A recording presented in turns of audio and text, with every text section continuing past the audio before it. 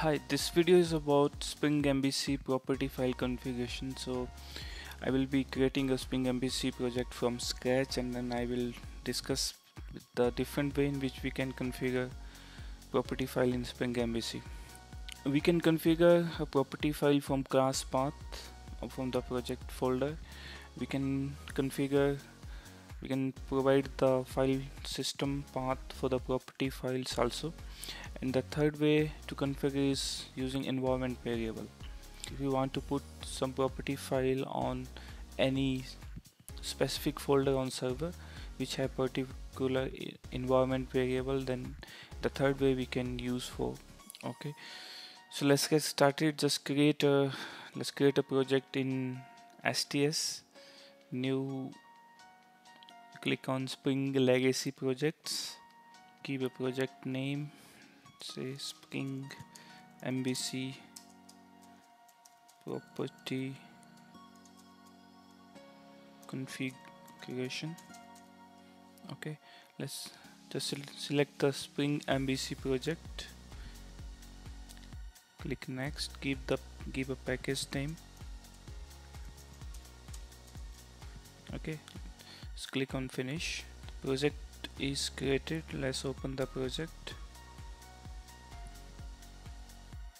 we have a configuration file in spring folder. So inside spring context .xml file we need to first add a configuration for property file. So okay so we need to add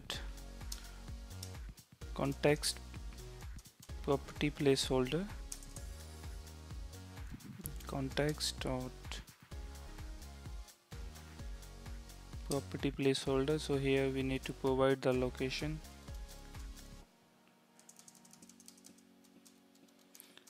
Okay so let's add the class path first. Then so first we'll cover the class path. Okay so in the class path we need to provide the file name. Let's say we have a database dot property properties file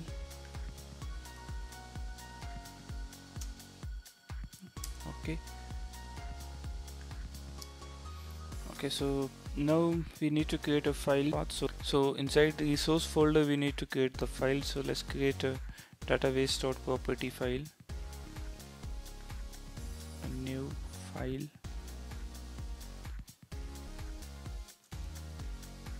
Database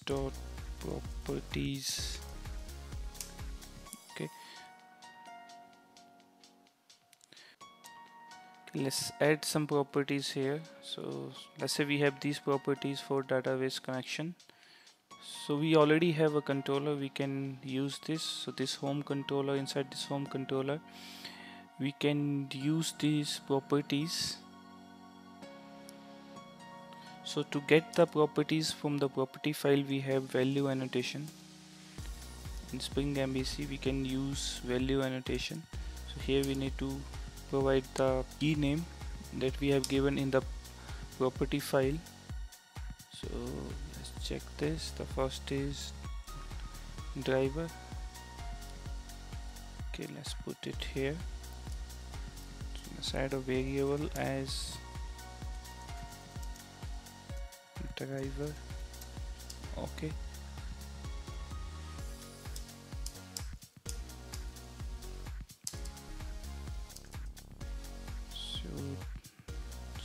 user. So we have uh, user password and url okay so this is user.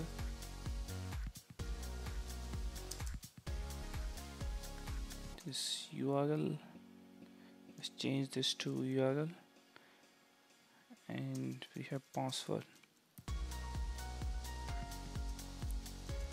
Okay so we can use this default path. So inside this path let's set these parameters into the model. So let's set the attributes. Let's add this.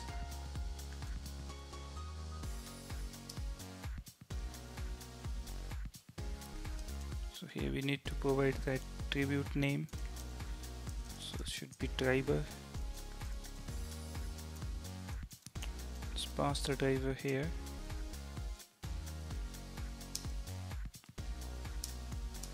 Let's pass all the values to the to the UI okay so here we have a user we have a password and we have a URL okay so this should be user. This is password and this is URL okay. So the control is going to the home.jsp page. Uh, so let's print these properties value into the JSP file. So let's print it here. Okay so we have user. Okay we have uh, password and we have a driver. And at last we have URL. Okay let's change this to user. This is password. This is driver and this is URL. So we are done with all the, all of the configuration. So first we have added the property placeholder to the class path. Okay so this will load the property file which is present into the source folder. This is the database.property file we have created. And we have changed the controller as well. So we are getting these values from the property file to this controller. Using value value annotation we are doing this. And we are setting these attributes to the model and we are passing to the model. Now we can print it let's run this on server. So I'm using Tomcat for that. So let's select the server and run this.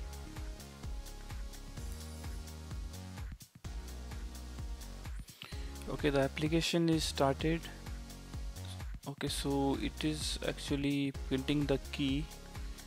Uh, so let's check the controller so here we need to use curly brackets to get the value from the property file. Okay so let's add this.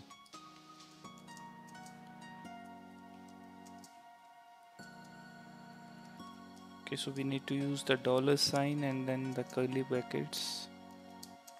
So let's add these for all of the properties values okay so let's run this again on server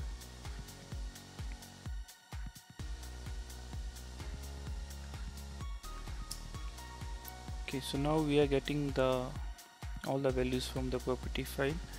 So we have covered the first point using a class path. So now let's say you want to get the properties file from the file system. So so let's remove this from here okay let's copy this to some folders.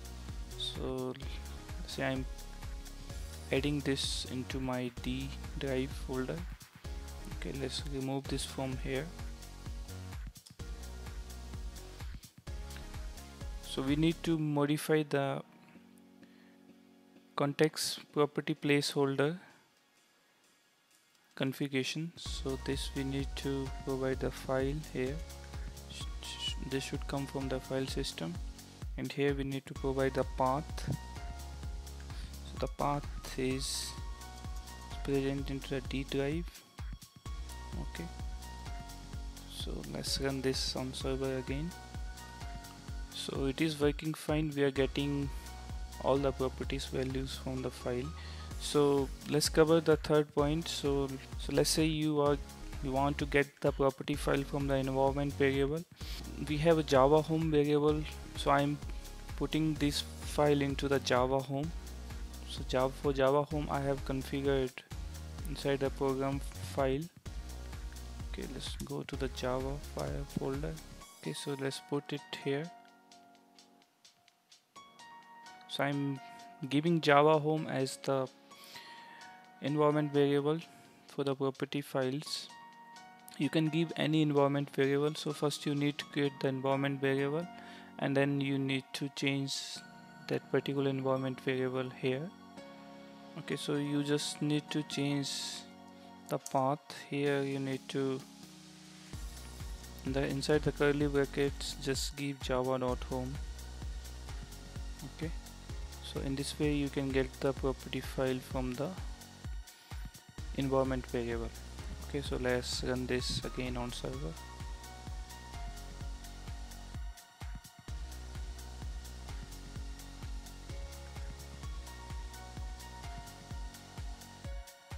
So the all the values from the property files are coming successfully from the environment variable as well. So these are the way to configure a property file in spring MVC okay that's all for this video. See you next video. Bye bye